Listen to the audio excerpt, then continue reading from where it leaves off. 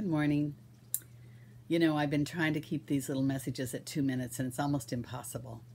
So, you know what I'm going to do? I'm going to really try to keep them short, but I'm not going to be so so rigid on my timing because I watch them and I think, gosh, I left out so many things I wanted to say about that issue. So, with that said, we're going to get started and we're going to go till we're ready to stop. No, we won't do that because if we did, you'd probably really get tired of hearing me. So, but I'm going to go till I think I really should stop. Okay, here we go. This morning, I want to talk about words.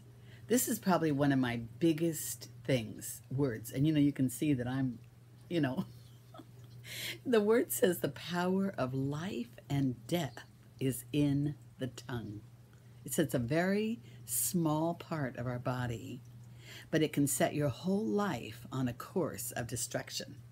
And I'm sure that there are some of you out there that will attest to that. How many times have you said something that you go, wow, I shouldn't have said that? But once those words are out there, there's no taking them back. You can apologize for them. You can, you know, eat them. you can say you're sorry, but you still said them and they still did what they went out there to do.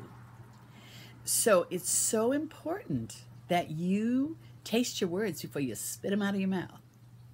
You know, you know, I don't believe in letting the intellect rule your body because the intellect is one of the things that can block you from getting to know God because the intellect can't understand God, so it wants to red X everything. But it should have a, say in what comes out of your mouth. You use your logic to run your spiritual things by, and especially words. I mean, before you say something, you need to say, now, how what kind of an impact is this going to have? How is this going to affect the person I'm I'm saying this to? Words are so powerful, you guys. The power of life and death is in the tongue. Just imagine that is powerful stuff. It can make or break you. You can bless yourself and others, or you can curse yourself and others. If you're one that uses negative things all the time about yourself and others, you're going to see that come right back into your life. You can call things into being with your tongue.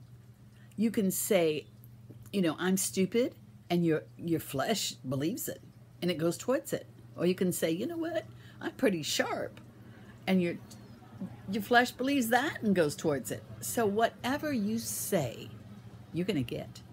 And when you say it to children, oh my gosh, be careful what you say to young people because you can actually make or break a, a, a life of a child with your words. Note that my eyes are kind of closed today. As you guys know, I have an issue with my eyes. Don't think I'm falling asleep. They close when they're not supposed to. But we prayed for them and we're believing they will be healed. I'm standing on God's word. I'm doing everything I know to do, and then I'm standing and believing. And that's what you need to do too. You guys are precious. Tune in tomorrow. I'm getting some wonderful responses from you, by the way. I love my people. Oh my gosh, they're so sweet. So if you have something you want me to talk about, be sure and let me know. In the meantime, I bid you a blessed day and I'll see you tomorrow.